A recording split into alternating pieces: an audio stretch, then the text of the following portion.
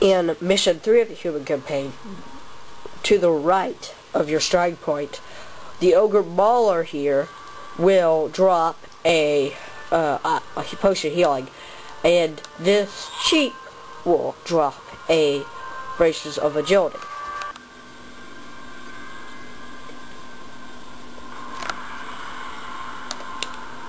Lord, if this is about taxes, I can explain.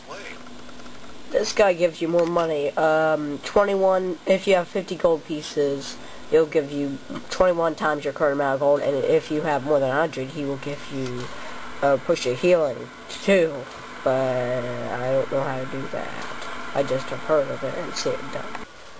Right here, this Murloc hut will drop an item. I forgot what. And then over here, either one of these crates or this tent will drop an item. Right here in the lower left corner, there is a manual of intelligence plus three. If you have a little trouble finding it, it's right next to where the mortar team is bombarding the skeletons.